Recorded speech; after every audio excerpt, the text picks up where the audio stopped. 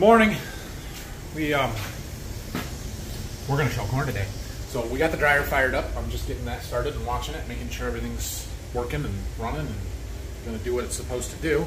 And uh, then we got two loads to haul in. I got one on my truck. Phil's got one on his. His, mine, whatever. They're just the trucks, the trucks that we drive. And uh, when we get back, we're gonna go try and shell corn. Although the driveways are pretty sloppy right now. Well, I hope the fields are a little bit better. I, I didn't even look, but I think we had about a quarter of an inch of rain yesterday. So, but we are super dry. It should soak in pretty well.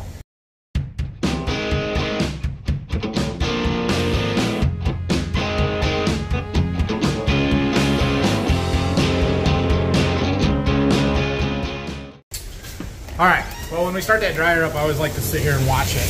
At least fill itself once and just make sure the augers and everything's to run all right. So we just did that. We are good. Jump in the truck, get this load hauled in, then go shell corn. Oh, the road's almost all dried off here. Time to go to work. Oh, this is what everybody wants to see.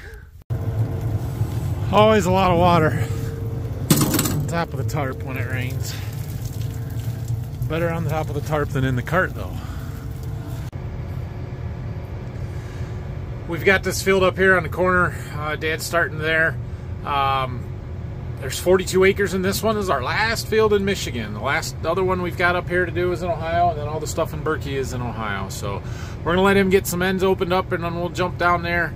The trucks, I don't, yeah, they're parked down the road farther. That's the best place to park trucks on this one. So everything's got to get carted to there. Um, not super convenient, but it will be fine. I I've said this before and been wrong, but I don't expect this corn to be super fantastic. Um, this this field, the hybrid that's there, is the one that's been by far the most disappointing this year, and. Uh, uh, when I side dressed it, I thought this was our worst corn. I thought the stand was thin on the ridges and it just didn't look great. Now, when our guy with the Hagie sprayed this field, he said he thought it was some of our best looking corn and it was tall and it looked really good. We'll see who's right here. Quick check for, yep, no, we're good here. No electric lines on this field. At least not in the back here. There's some up front? Yeah, there's some up front. Anyway, uh, getting started here. We may even get a little bit of mud sticking to the tires and the tracks. Doesn't look like a lot, but it may get just a touch tacky here this morning. That'll dry out over the course of the day and we'll be fine. Like Dad said, it's not even harvest if we don't mud something out. So I don't know if this counts as mudding it out, but we're going. I don't like it. I don't like it. I don't like it. I guess it's working. I was coming up here waiting to figure out what Dad was going to do, and he backed up and just turned around and came right at me. I'm like, oh, crap, what do I do?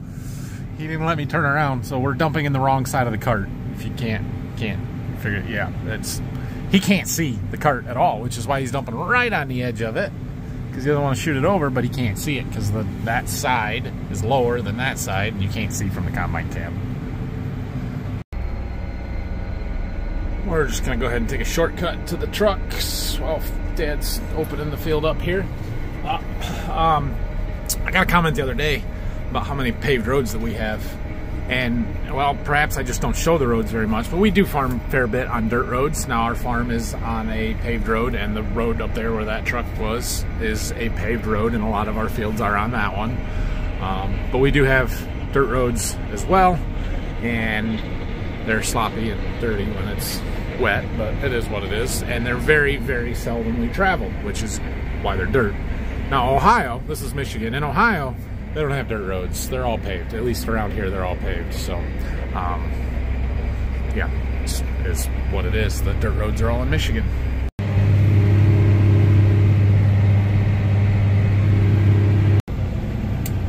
Well, it's not terribly muddy out here, but we are making an imprint. And there's just a little sticking to the, to the tires and tracks. Like I said, that'll get better. So, uh, in today's tractor snacks, we have cinnamon Teddy Grahams because I have young children and it's not weird, so don't worry about it. So you can kind of see here how thin that corn is. Um, yeah, that's that's what I noticed when I was side dressing. Uh, Dad just came on the radio, asked if this was a stale seed bedded field. It was. This is, was wheat last year. We planted uh, that oats and radish cover crop after we spread chicken litter on here.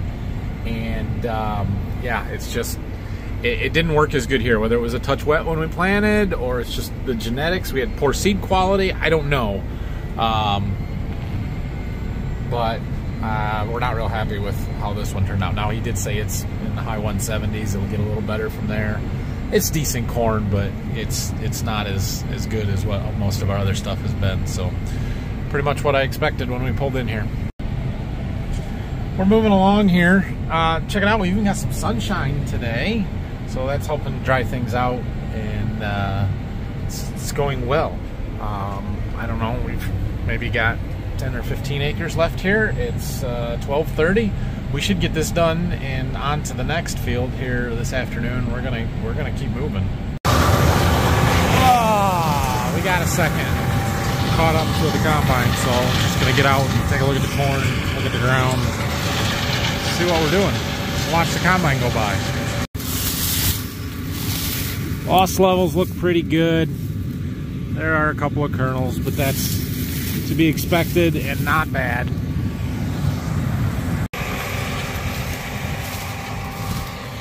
Sorry, that pass of equipment filming went to Instagram, not YouTube. Anyway, you can see how thin this corn is. The fact that I can walk through it like it's a corn maze without touching a plant is not a good thing. That is not a good stand we should not have a two and a half foot gap between plants here. Um, yeah, it's it's way too late to diagnose what happened and why. Now that's something you have to do in the spring as it's coming up. I knew this stuff was thin. I knew it was going to be a problem. I still don't think it's bad corn because look at what happens here. Let me hold on. Look at that here. That's impressive. See, this plant didn't have any competition next to it, so this ear flexed and it got really long. And I mean, there's kernels growing right off the end of it. That's good. It's not enough to make up for um, not having these plants here. You can see the ones over here on this side, they flexed a little bit too. But look at this one. This one was interesting. You see that?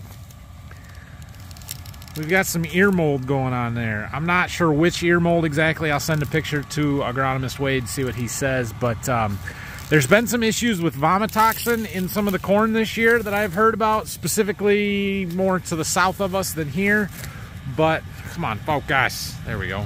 But um, um, we've we've got some of that mold and stuff in some of the kernels, and the, and it can cause what we what is known as vomitoxin. And if the um, amount of that in the corn gets too high, then the elevators start uh, uh, docking us. They don't pay as much. They they deduct how much they pay us per bushel. And if it gets too high, they'll actually reject the load and you won't be able to sell that load of corn. So uh, fortunately, on everything we've done so far has been really good. We haven't had any issues. That is a little concerning, um, but it is heavily weather dependent and uh, has a big genetic component to it in whether or not um, you get vomitoxin. Well, if the combine's coming back, we can go film it for you.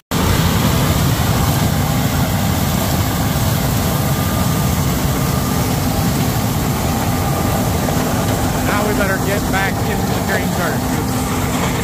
We gotta go.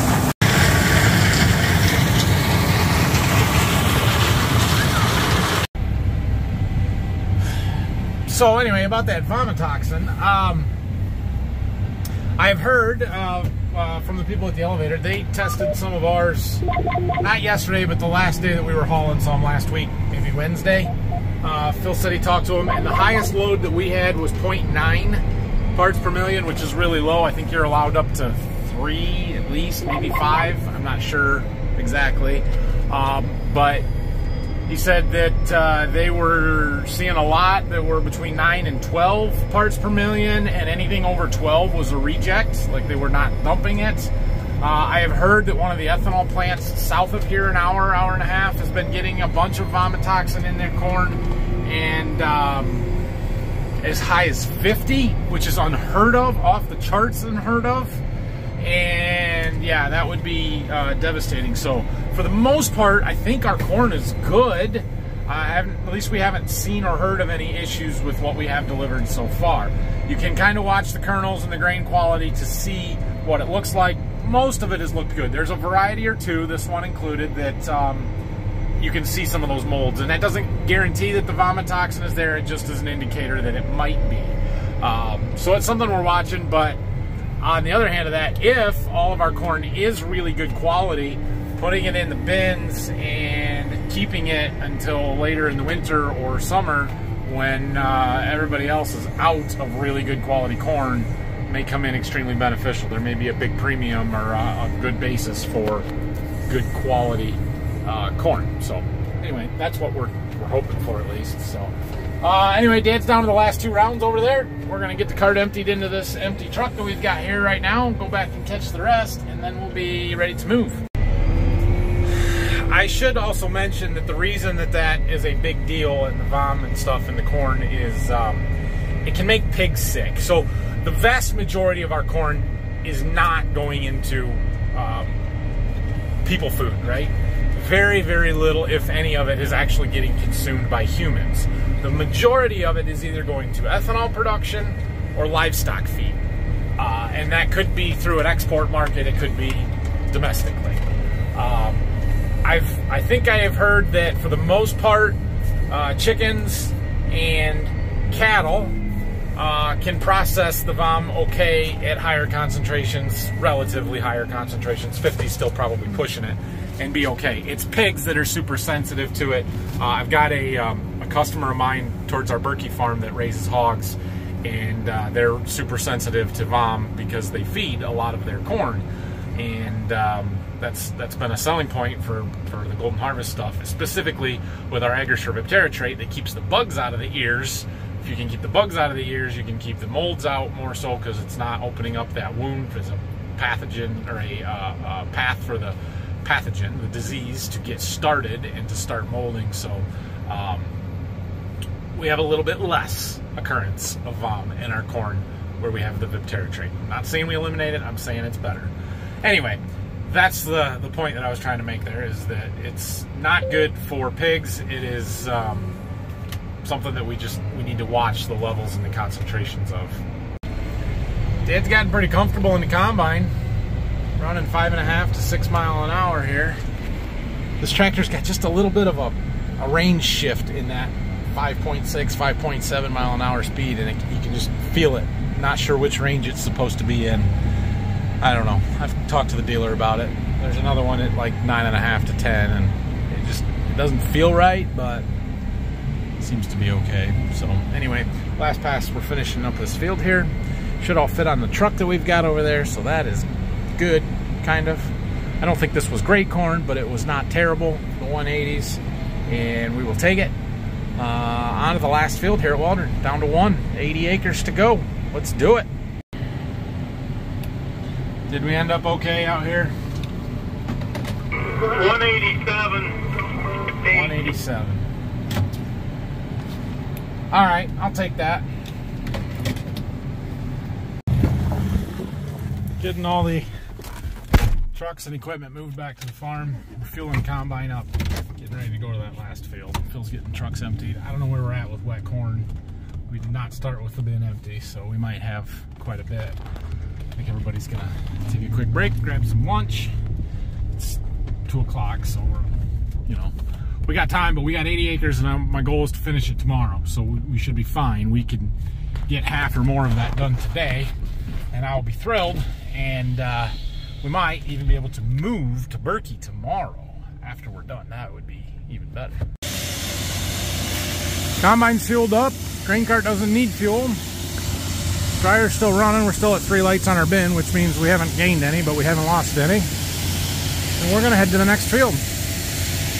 Last one. Let's go. Let's go.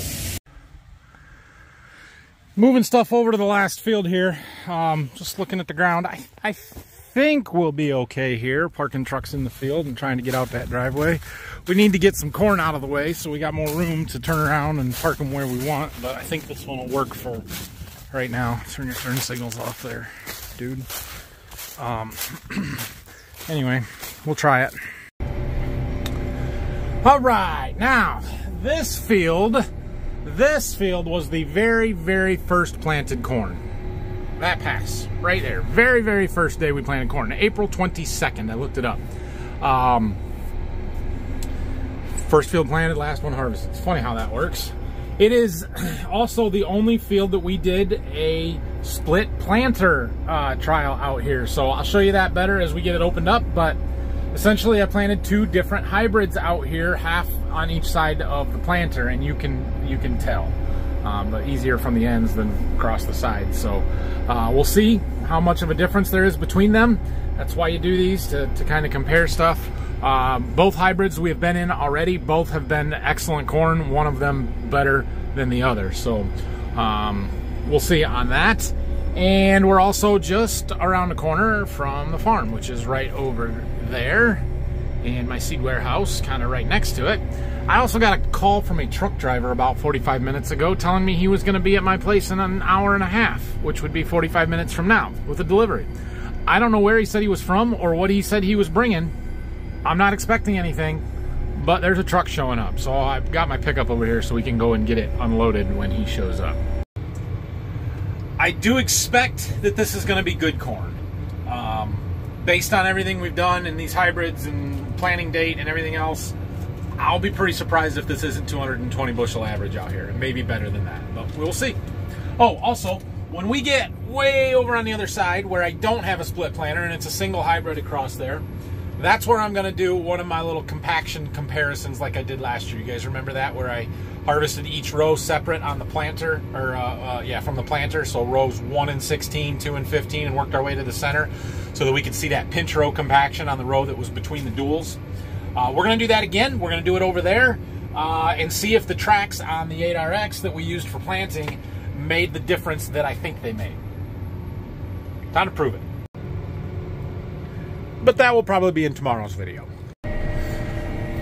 So we are getting a hole broke through the middle. Right, the two rows right in the front there are of the different hybrids. That's the split in the planter. And uh, can, you see the difference in them? Like how this side is brighter and standing taller and this side is duller and smashed down more. But when you look at the hybrids, the one on this side, so these eight rows that are gone and the next eight rows are the same. These eight rows and the next eight are the same. Um, that hybrid is standing better, it's taller. This one right here isn't too bad, but in a lot of spots the tops are broken down or it's just a little bit shorter. It's interesting how you can see the difference in the stubble. That's, that's all I'm saying.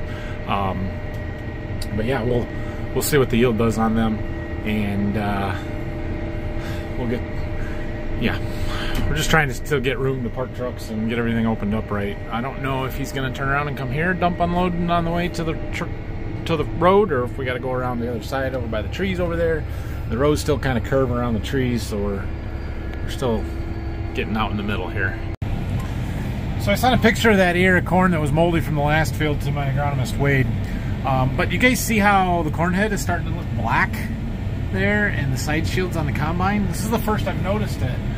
Um, Wade says that that mold was uh, fusarium, most likely, which uh, I believe is the same disease or the same fungus that infects our wheat and caused the combine to turn super black when we were doing wheat, remember? And we get that fusarium head scab. Um, so I think that that last field of corn probably had it in it fairly bad, and that's what's uh, caused the ear mold, and is what's there was probably some stalk rot in there as well, and it's showing up on the combine as black spores and stuff. Um, yeah, anyway, something to take note of. It's, yeah. We did spray a fungicide on that field, so I'm a little surprised to see it on the combine like that. I would think that would have held it off some, but they're not 100% effective, so I guess it's not that surprising.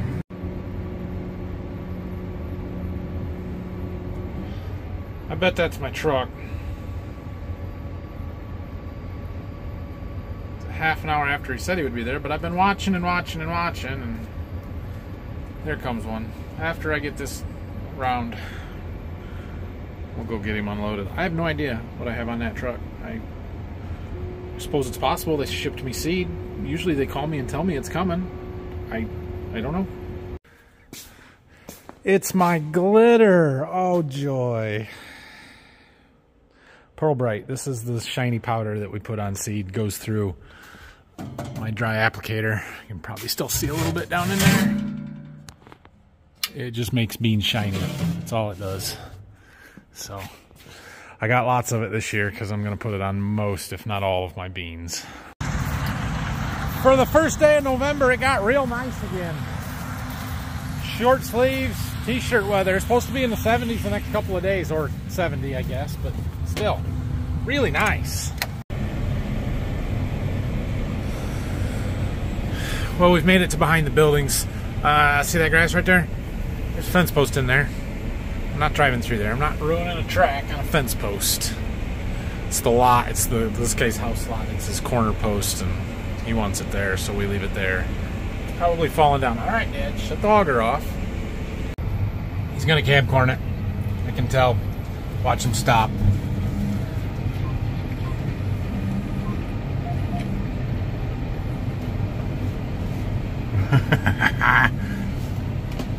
Alright, yeah, just a little bit. Uh, we had to open up the end rows in the back, got past the woods here. Yep, that was as far as he could go. We're chasing the deer out. There's a doe. And there's two more of them. They're everywhere, I tell you. We're taking their cover, though. Those are just little ones. Dad can... He doesn't make it too far in these rows. This is this has got to be pretty good corn because he's empty at the other end, and by the time he gets to the there and turns around to here, he's full. And we're not quite half mile long rows, so yeah, it's good corn. I know that. Let's see if we can figure out about where we're at here. What are these rounds yielding in here? Um, some of them were 255 or so. The Yeah. field average is 239. Okay, it feels like you're getting a lot of corn. Of these rows are longer in here too. Yeah, but they're still not half mile rows. They're shorter than they were up on the irrigated field, and we're seeing similar bushels here. Well, it, it jumps around, but it runs in the 250 to 270 to 280 sometimes. Well, that's good. Are you seeing much difference in the two varieties? No, not a lot. Okay. And hell, you know, you're going to have to go in and isolate them out. Right. Yeah. The computer will keep all that stuff separate. It'll So right it. now it says 279, 283, then it jumps down, but pops back up at the 270s. This is really good corn. That's awesome. the slow ground in here, it's like a you know curve down. It's it jumps right up. Good. Well, that's awesome.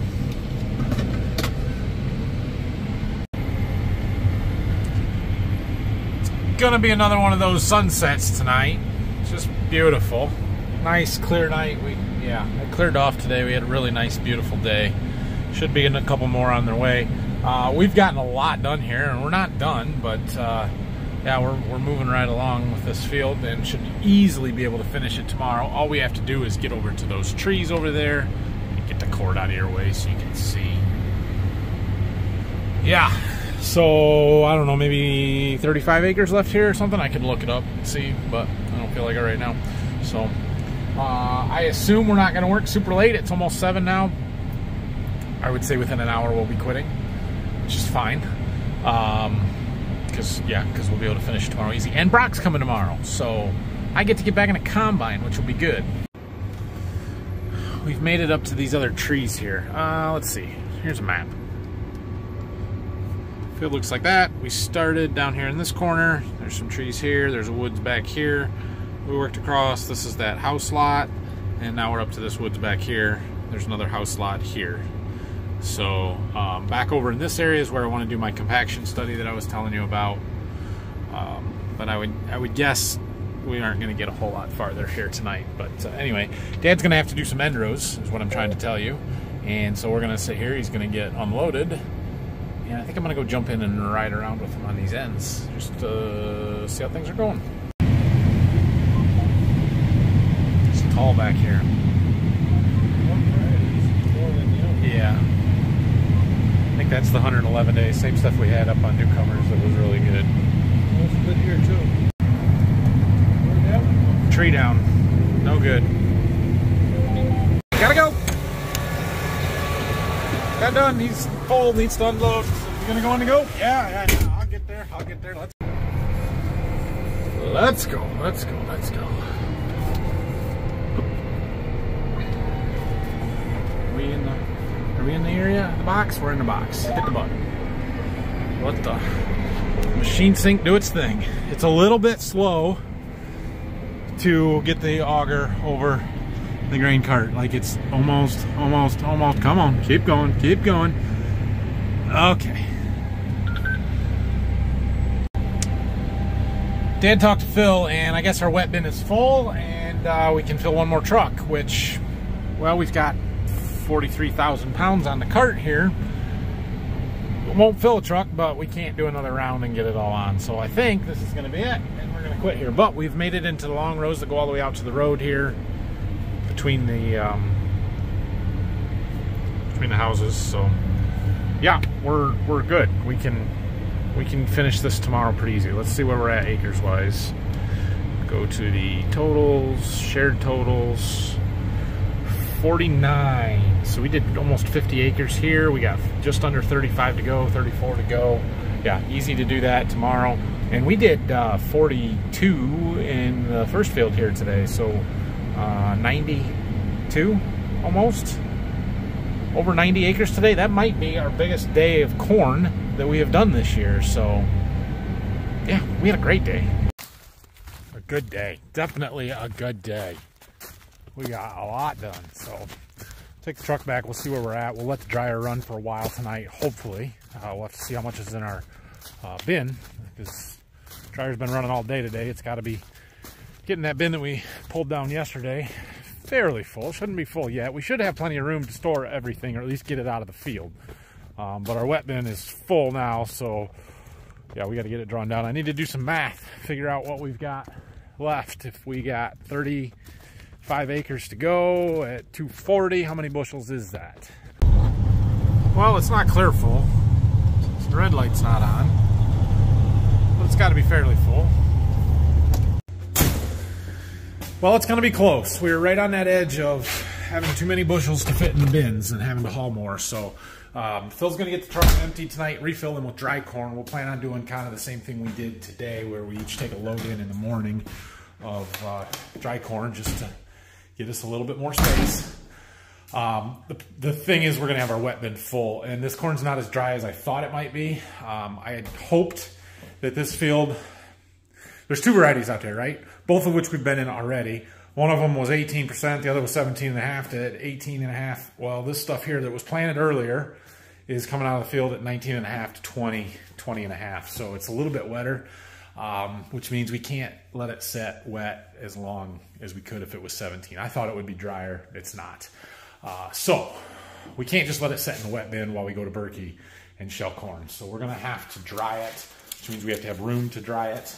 And um, so we're going to we're going to work on that here as, as we go. But um, we're going to pull some more dry corn out. That's what I'm saying. Anyway, it's supposed to be super foggy in the morning, so we'll have to deal with that with trucking and everything as well. Um, Brock's coming, and we're going to finish selling that corn.